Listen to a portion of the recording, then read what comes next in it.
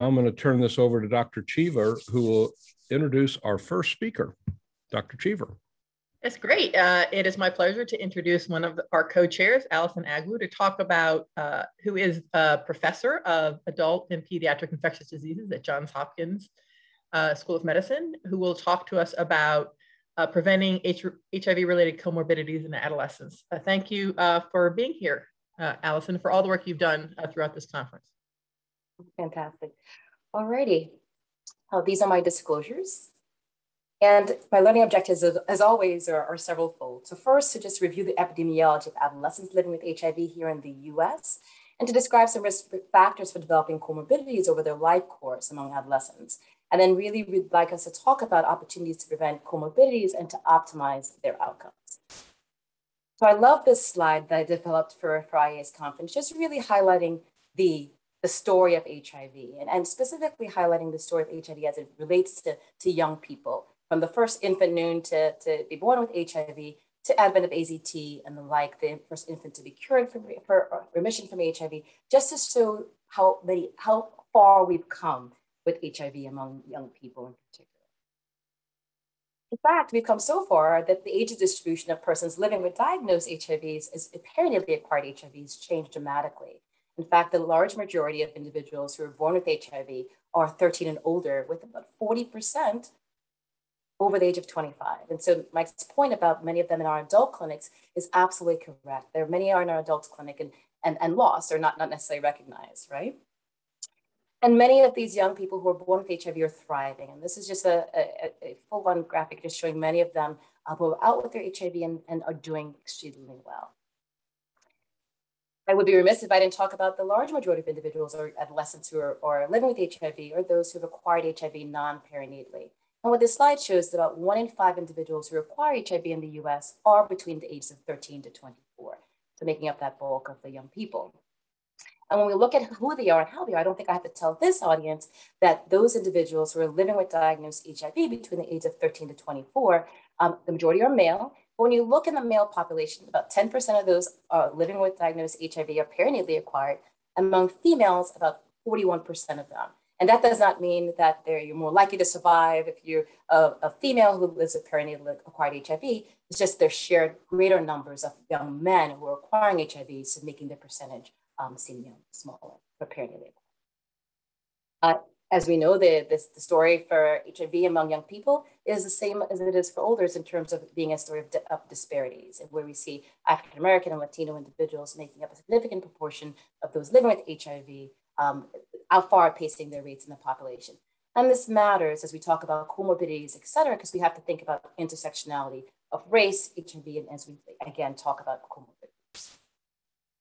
oftentimes when we talk about adolescents who are living with HIV, we really focus on the continuum and where youth, unfortunately, in 13 to 24, even the 25 to 34, have the lowest rates of engagement in care, receipt of care, and viral suppression compared to all other ages. But young people are more than their viral load, and you know, I've been hitting the drum, and I'm so glad to be giving this talk today, talking about the things that are beyond viral load when we're, we're thinking about optimizing care for young people. So I really appreciate the thinking about the life course perspective for adolescents with HIV. We're not just thinking about their medications, but thinking about all the things that happen to them in their second decade of life, but also throughout. Antiretroviral medications and how they change and the impact that it has on them, and again, in early and later on in life, critically important.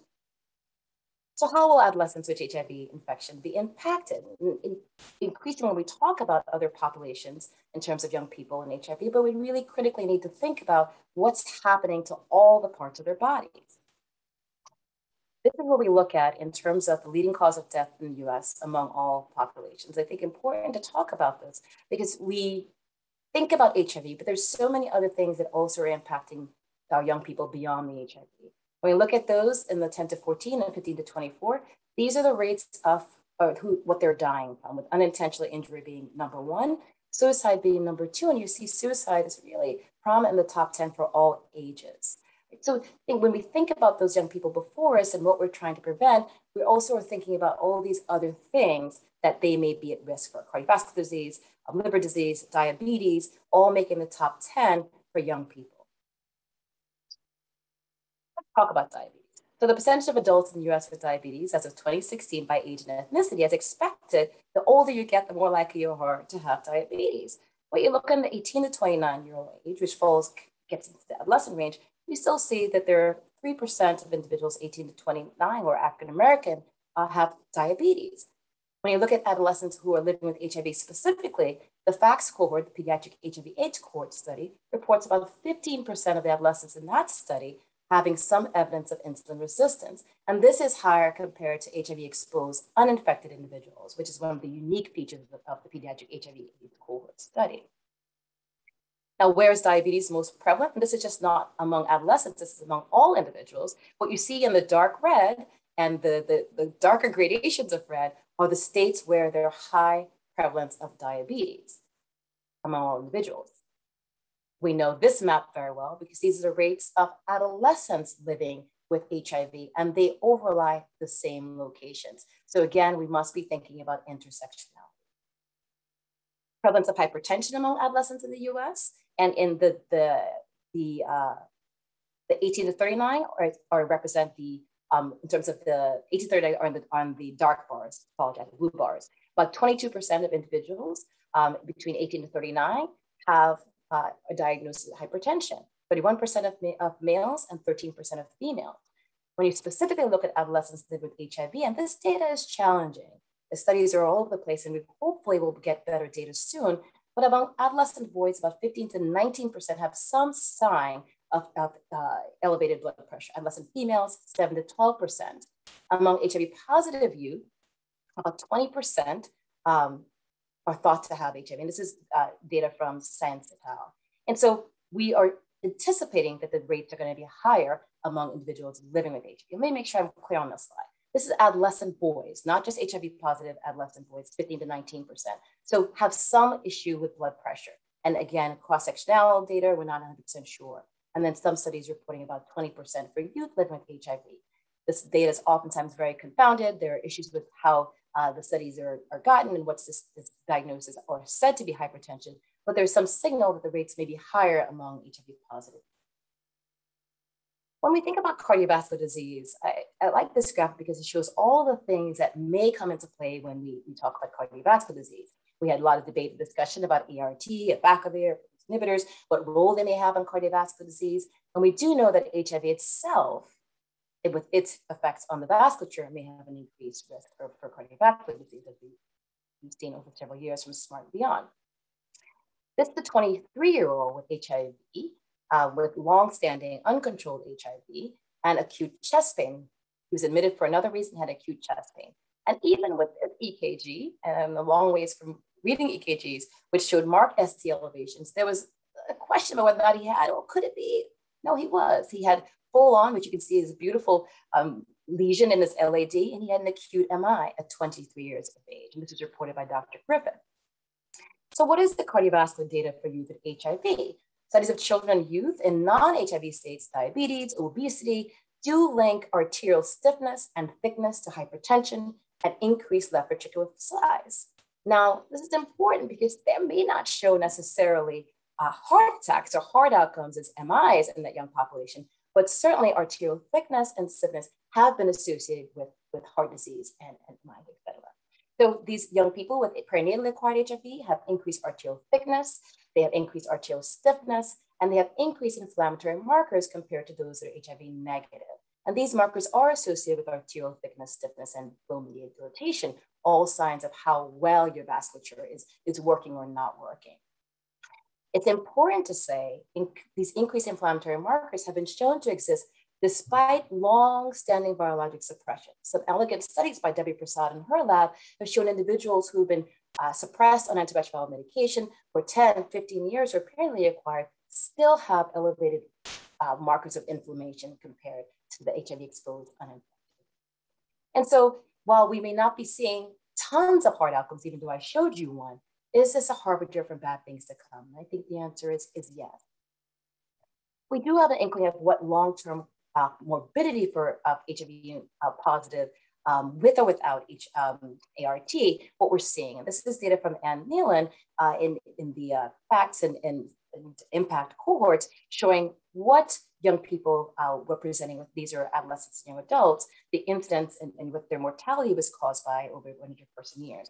And what you see are things that we normally think about, STI, pregnancy is not a morbidity, mental health, um, serious bacterial infections, cardiac conditions. So significant signs that there are, when morbidity, when mortality happens, these are the things that are contributing to that mortality. Let's talk about a few of those things. So mental health. There's more and more data about the impact of HIV, comorbidities, stigma, polypharmacy, all the things that may be impacting young people or people in general living with HIV. I think the, the issue of young people with HIV is that these factors, and particularly ART and HIV, are present for a lifelong. What does that mean? Sexual reproductive health, think important to talk about. STI rates among adolescents living with HIV um, are, are, are equivalent or similar to what we see in the general population. So it's important to say, and Khalil Ghanem will talk about this more, but the rates of gonorrhea, chlamydia, and syphilis are, are have increased between 2013 2017 among individuals 15 to 24 years of age. They've increased. Highest among young women, but males, you've seen an increase of 29%, females 9%, gonorrhea of 52%, and for females up 24%. And we can debate, is it increased incidence, is it increased screening, is it extragenital screening? What we can't debate is that young people have the highest rates and those rates have increased. Among HIV positive adolescents, those who are perinatally acquired, they may have an increased likelihood to use condoms, particularly if it's linked to when they know they're, they're disclosed, their status, etc. However, 60% of them use those condoms inconsistently. And 30% of studies that are done have one, at least one or more concurrent partners. For those that are non-parental acquired, they do continue sexual activity, and there is significant high levels of inconsistent condom use. And when we've looked at pregnancy desires among young people uh, with HIV, perinatally or non-perinatally, pregnancy desires are unchanged compared to the regular population. So when we think about comorbidities, this is just looking at chlamydia infection and what we can think about for long-term comorbidities that include to build for infertility, adverse pregnancy outcomes. There are reasons why we need to be doing the testing, screening to interrupt and treat. Step back and say, what are the non-modifiable risk factors and what are the modifiable risk factors? I think as someone who sees young people, I'm constantly thinking about that. How can I get to this before it becomes a thing, right? And so some things we can control or can't control, age, gender, genetic factors, race, ethnicity. I don't have to tell this group this. But there are things that are in the modifiable uh, category, smoking, diabetes, physical inactivity, high blood cholesterol, that we have got to highlight higher as a, a higher priority for young people to intervene. Let's talk a bit more about that. So tobacco use among adolescents. On the right side of the slide is what you see among high school students, with about 24% of high school students reporting some tobacco use of some tobacco product.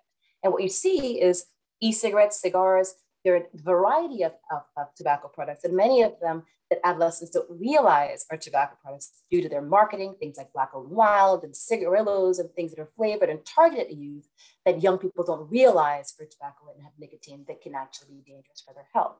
When studies look specifically at young people with HIV, up to 40% report some tobacco use, with 20% reporting daily slash almost daily tobacco use. And again, you have to specifically, when you ask young people, it be specific about what you're using.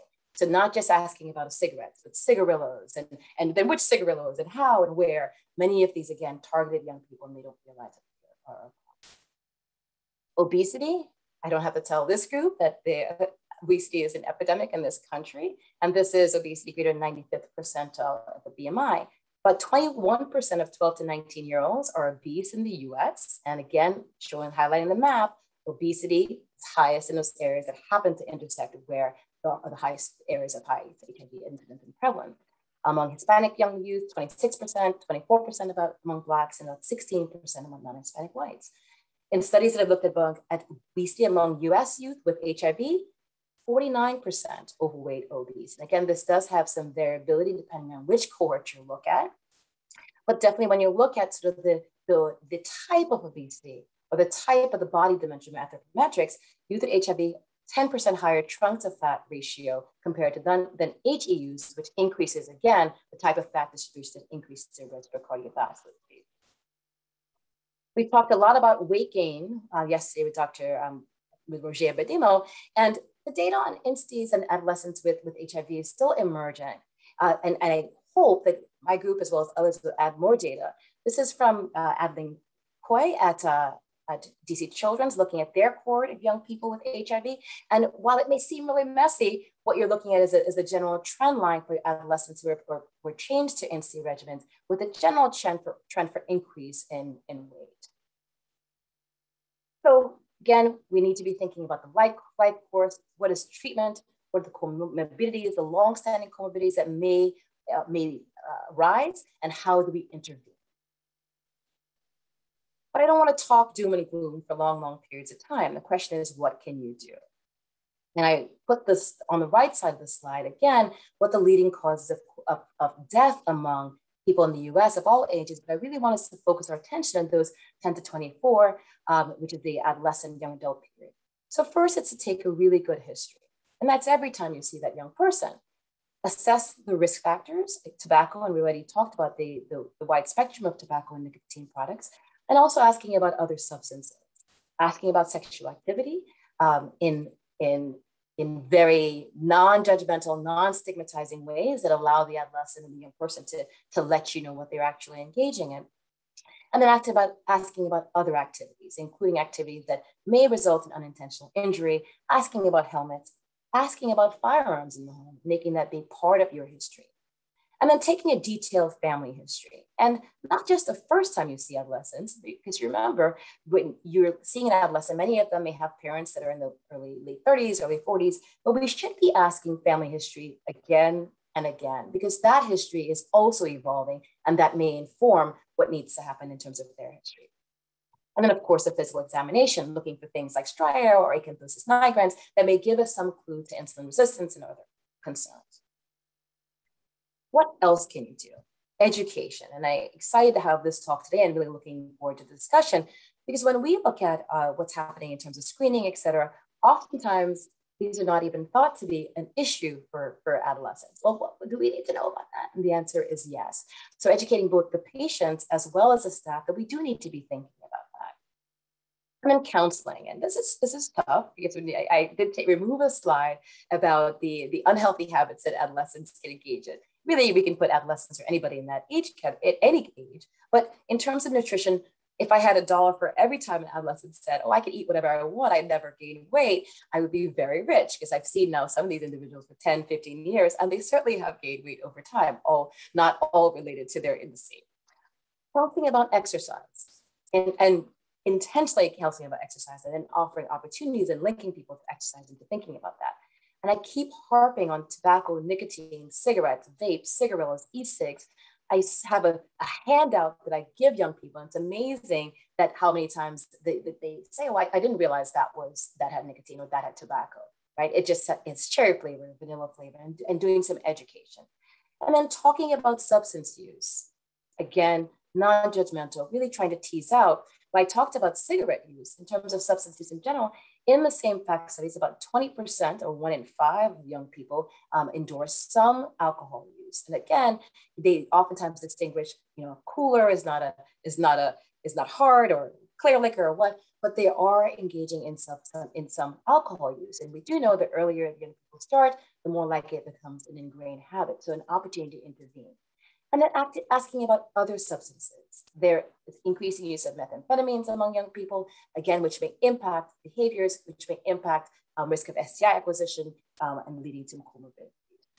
And then asking about sex in multiple ways, uh, not just for STI prevention, but counseling for pregnancy and among all populations of young people, um, as oftentimes our sexual activity may not uh, match our sexual um, identity etc. And it's whatever else should also be.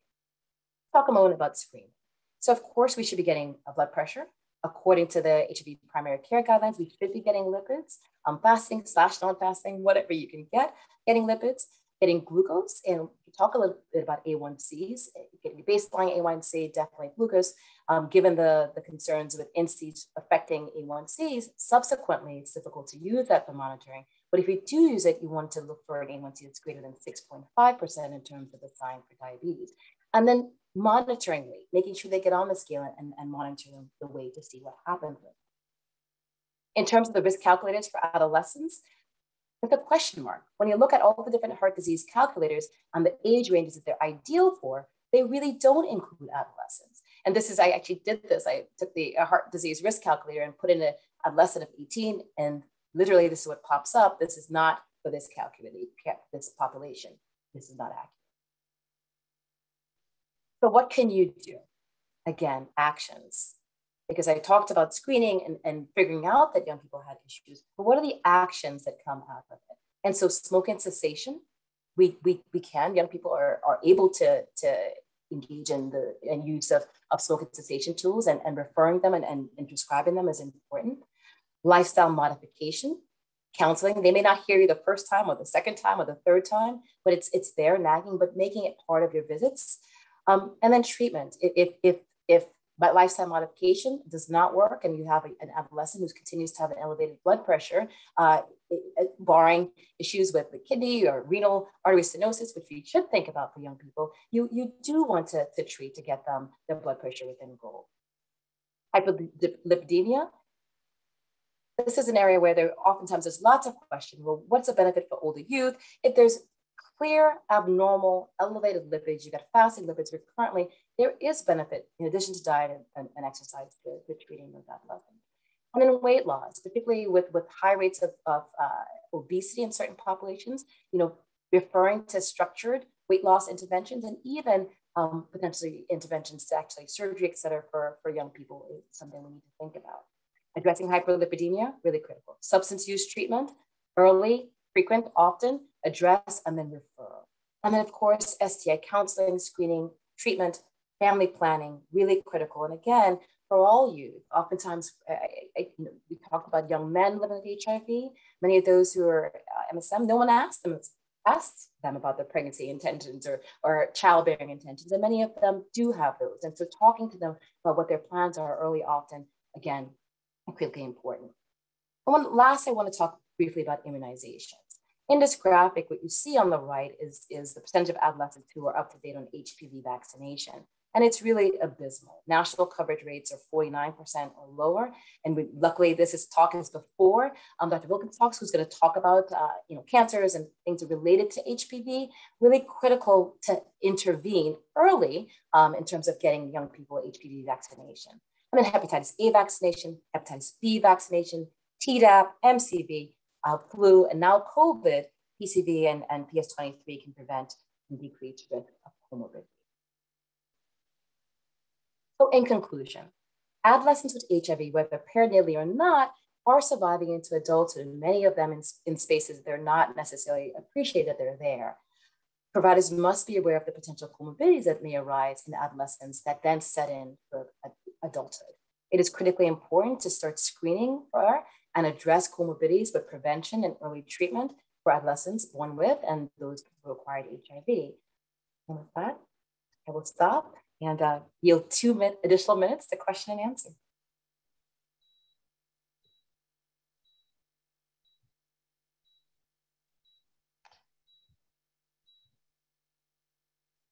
Thanks so much. I was just trying to get back on screen. Uh, thanks so much, Allison. That was a great talk. So um, one of the things that really struck me when we had some listening sessions with adolescents many several years ago, because we had such low rates of viral suppression in Ryan, the Ryan White program, we were trying to figure out what we should do differently. Um, the thing that struck me that I, we heard several different times in different places is I am more than my viral load. Like all my doctor cares about is my viral load. I don't want to see that doctor. Yeah. Um, so it seems like adolescents are much more sort of uh, sensitive to that issue that we are really focused on viral load. Do you yeah. want to talk about that a little bit in terms of engaging adolescents? Yeah, so that's why I had that slide with all the tattoos, et cetera. I am greater than viral load. Um, I'm, you know, greater than my value. And that's actually uh, stolen initially from the, the diabetes literature, young people. I'm more than my, my A1C. And, and, and they are. And I think there, there is frustration. You go in and adolescents, we know have the lowest rates of viral suppression. We do know that. We also know that there's so many things intersecting to why they get there. And I really pride Ryan White for all the things that the resources that are provided within the program to support adolescents. But absolutely, you, you talk about the viral load and you address the viral load, but you also, that's within the context of their entire lives. And so you're absolutely right. You, you don't want to harp on it so much, you have to address it, Um, but if you're addressing the other things and supporting, et cetera, you're going to get to the viral load in, in my mind um, by addressing the other things that are impacting the life. Great, thanks. We've got some great questions here. One is, what is the impact of INSTIs on hemoglobin A1C? Is that known? Yeah, so you know, I, I don't know that I completely understand the mechanism. But we do know that the, the integrase inhibitors cause sort of a, a, a, artificial increase in the A1C. And so it's not as reliable for monitoring for diagnosis of, of, of diabetes. So you have to be careful in use the fast, using the fasting glucose or glucose challenge to be able to divide. I'm happy for anybody to comment on the mechanism. I don't know that I completely understand the mechanism of why the A1C is mostly elevated. Yeah, so in the adult treatment, in the adult guidelines, um, a1C is not recommended for the diagnosis of diabetes as it is uh, in primary care because of that. Mm-hmm. So exactly. Um, the other question was based on what you said. So at what LDL would you start uh, statins in an adolescent? Yeah, so that's a really good question. I mean, of, of course, you know, you the, the number is usually 130 or higher is, is, is what's recommended with the goal of getting to below 100 is what's, what's recommended. Um, I oftentimes it's one more thing to add to it. So I really push the lifestyle and things with, with a goal to not add it. But if we have persistent elevations, etc., I, I, I am concerned I, I, and I do add. But it's a rare adolescent that I read. Yeah, another question is a lot of uh, adolescents, at least one practice here, are using, uh, or a lot of their high risk uh, sexual activity is, is coming from places like Grindr. And how do you how do you address that uh, kind of social media platforms uh, with patients specifically around risk? Yeah, that's really a great question. I mean, I think first, um, I'm really excited that people are even asking where young people are having sex and getting the answers sort of this Jack'd and Grindr, right? So even understanding where where the risk is. So I think how do you address it? I think certainly we talk about what you see is not what you get and, and talk about how to be safe, even just physical safety um, when you're meeting people on Jack and Grindr. So I literally meeting them where they are in terms of, okay, so you're meeting them and who do you tell or how do you tell to just talk about safety. And then we talk about, you know, those sort of the, the what, what you see in terms of knowing that on social, the social network, sexual network sites, that there are actually significant studies have been done, a significant proportion of those individuals are not necessarily truthful about their HIV status or their PrEP status, et cetera. So we talk a little bit about that. And then we just talk about, well, what's the best way to remain safe? It doesn't really help to say, well, don't have meet your partners on doctor Grindr particularly when people are not necessarily out in their communities, et cetera. Those are the safe spaces that they feel to meet their partners. So it's how do you help young people navigate that space in the way that's safe for them without wagging the finger and saying you should not, have couldn't, I should not do that. Great. And uh, getting back to kind of harm reduction, what are the current age recommendations for HPV vaccine? Yeah, so the age recommendations are similar to for, for negative individuals. I believe it starts at 10. It's 10, the, the starting age for 10. And I think it's 26 for um, the for male. So that whole age range, um, 10 to 10 to 26, I believe is the range, with some leverage to go older. Um, but Tim Wilkin, I see is answering, so he could jump in and type an answer to that that one and make sure I didn't get it right. I give all my youth, uh, yeah, but it's usually starting at age 10 and, and up to age Okay, great. And um, given everything you said about comorbidities and antiretrovirals, what is what are your go-to or favorite antiretrovirals for uh, youth? Yeah, so and no no bias, and I, I, also should say that I, I, I do sit. So thank you. It's nine and but thank you. Um, I sit on the DHH guidelines, but these are my my opinions in terms of what I recommend for go-to for start. Um, so my goal is smallest, less frequent, fewest side effects. And for me, what I have found uh, seems to fit that bill with the current regimens that we have is the, the, the Biktarvy-based regimen. So BICTAF FDC has been what I, I have found that has, has fit, in, fit the bill for that. Prior to that, I was using a, a lot of the two uh, pill regimens, and that was dolutegravir and uh, FDC-TAF. And again, the young, the small pill of that dolutegravir just would get people so excited. Oh, I can swallow that. It's amazing how many young people don't swallow pills. And if we don't ask the question about can you swallow pills and should the pill, et cetera, we miss that they can't swallow pills. And so we do a lot of pill training and swallowing, et cetera, to get them there. But you've got to ask the question to then figure out what works for them. So that tends to be my first line. Is, is right? Yeah, I've seen some amazing pill um, swallowing programs when I've been around the country visiting. Um, so for patients who don't have metabolic syndrome um, and are on uh, abacavir, which because they were started a while ago, would you keep them on abacavir? So that's a great question. And we had some discussion yesterday about, well, what do we know about abacavir and did it get a bad rap or, or, or not? So if somebody is doing really well on their abacavir, uh, including regimen, for example, they happen to be on, on the Triumeq um, tablet, for example, I wouldn't necessarily change them. Um, however, if we are starting to see someone has hypertension that's going, there's some metabolic issues going on, there's other things where I'm thinking, well, let's, I, am concerned about the, the, the comorbidities down the line, I certainly would consider switching them to something. Great, thank you. And for people that are diagnosed perinatally or at a young age between 13 and 18 are now transitioning into adult care, what are some of the major things you think we should be thinking about? I know there's a breakout that some people will be able to attend today, but can you sort of give a high level, uh, what are the things that we should be doing in, uh, at, in adult medicine to help retain these people in care? Yeah, that's a great question that I spend a lot of time thinking a lot about, and I do hope people go to the breakout session. I think, you know, first here in, in most programs, young people are transitioning um, or staying in pediatric programs up to the age of 20, right? And then going to the adult side. Um, if you're transitioning young, a young person at 13 to 18 or close to 18, there are different things that you need to be thinking about than if they're older. That being said, I think the things that I have found, and I think our team has found that work best, is number one, making sure that there's disclosure in a way that the young person now understands.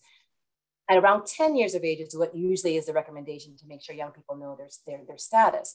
However, what you know at 10 when you get that disclosed status versus what you evolve into at 18 or 20 is very different. And so giving young people space and grace to understand or to revisit disclosure it's so like, well, we already did that at 10 years of age, and, and now you're 16. Why are you asking again? Because now the realization of what that disclosure means may be different. Because now they're thinking about what that means to tell partners or this or that. And so making sure that there is an understanding of disclosure and what it means for them and, and who owns their disclosure story, I think works really well. And we know when we do that well, lower rates of, of, of depression, higher rates of adherence, better engagement in care. So that's one. I think two, not taking for granted that young people understand what HIV has an impact on them. And again, even if you've had lifelong HIV, for the most part, there's been someone else managing your care, a parent, a caregiver, and you may not actually understand. And so taking the time to say, well, what do you understand about your HIV and making sure and empowering that young person about HIV.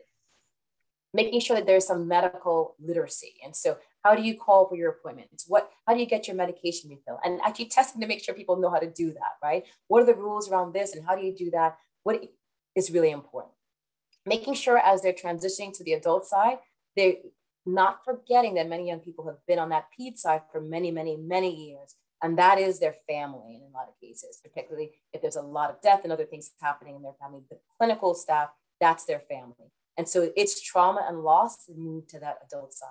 So making align, aligning the adult center or clinic, aligning with the PED center. And so you become a trusted individual that the family is brought in that then you're going to then take over, right? It's like someone taking you to the carnival. So invite them to the house. This is auntie, adult doctor. I'm going to take you to the carnival, right? So it's, it's making alliances and having a feedback loop that's really critical. So do definitely talk through some of these things more in the in the breakout but those are the things that we find really works well is supporting them. And i think one more thing is making sure again they're more than their viral loads. It's not just the medication.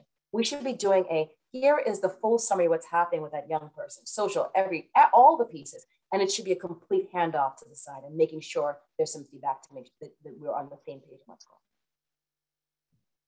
a couple more antiretroviral questions so um, are there any specific antiretrovirals you recommend with specific comorbidities you see in youth? And should we be worried about using tenofovir and given bone development and the importance of maximizing bone development in your early 20s? That's a great question. So let me make sure I understood. So one, are there any antiretrovirals that I tend to avoid to make sure that I minimize the risk of comorbidities? And then a, a question about tenofovir. Or specific comorbidities where if they have this, I never, you know, I never use that, like a common yeah. comorbidity.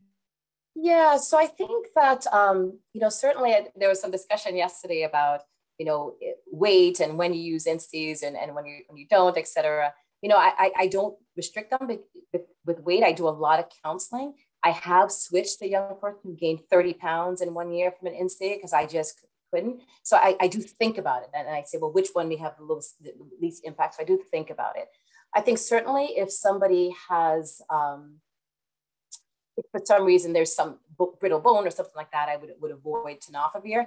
Most of the young people starting on regimens, I'm, I'm, I'm starting on TAF-based regimens. Um, however, you know, in terms of the bone loss issue, when we look at data from ATN, for example, looking at TDF and impact on bone, we did see some um, impact on bone, though it was not necessarily clinically significant. And these were young people who were starting um, one for PrEP. Interestingly, they started with bone mineral densities that were already a little lower, even without um, tenofovir in the mix. And that may be related to, to lack of exercise or, or a number of issues. So I think I, I, it does concern me with, with the TDF, even though I'm not sure what it means clinically. Um, so I was happy to move away from TAF-based regimens, which is why the weight gain and all that that's, that's become an issue is, is, uh, is challenging for, for me to think through. And so um, may need to switch again or think more about that. Great, and a couple more questions about some cognitive challenges. Um, you, would mentioned those. Are adolescents more likely to have a diagnosis of ADHD and need uh, potentially do better on stimulants? First question. And the second question is, what do you do when you have an adolescent and you think they might have Asperger's that hasn't yet been diagnosed, but you think there's uh, a cognitive, a cognitive uh, difference that uh, may need to be uh, understood so people can be managed appropriately? So there, the, I can take both questions. So there, there have been, I'm trying to think relative to the general population. I don't know that higher than the general population. I have to double check. Certainly higher rates of depression, et cetera, seen in that population. ADHD, I'm not sure there has been um, been shown. Um, certainly in terms of stimulants, I think if there is ADHD diagnosed, that you, you would use a stimulant. And there are studies that have looked at the interaction of potential for stimulants and, and, and ADHD medicines that point to IMPAACT 10, don't misquote, 1080, looked at those interactions and, and, and, looked at drug levels to show that they, they were not altered. But I'm happy for one of the pharmacists to, to do that. But you certainly would use them if you need them. In terms of if you think there's some cognitive issue, and we do know that there are higher rates of cognitive issues among um, young people who are perinatally um, acquired and those living with HIV, then we do recommend doing the cognitive testing if that's available to you. Um, definitely doing it because that does then allow them to, to be able to access resources to support them because we do know that longitudinally that would impact their engagement in care and, and, and the like. So really critical to, to do to diagnose if you think that's going and one last quick question. Is there a special or different approach you should take towards tackling depression in perinatally in, in people who have perinatal transmission of their HIV? That's a great question. I think certainly uh, one, it's it's just to address the depression. I think certainly um, it's important to to really on when you're managing their depression, not just thinking about them, but thinking about the entire context. There are some studies looking at CBT and other modalities to, that have been shown to be additive and improved in addition to, to medication. Um, so I think it's just no understanding that their context may be different. There's in, the stigma, there's multi-layered and not separating that from the depression diagnosis itself. It's completely hand in hand. Great. Well, thank you so much. That was a wonderful uh, presentation. And I know that um, are, we are uh, increasingly seeing these adolescents transit, transition to adult care. So that was very helpful. Um, with that, I'm going to turn it back to Dr. Saag for our next speaker. Thank you, Dr. Agwu. Thanks, guys. Wonderful start to the morning.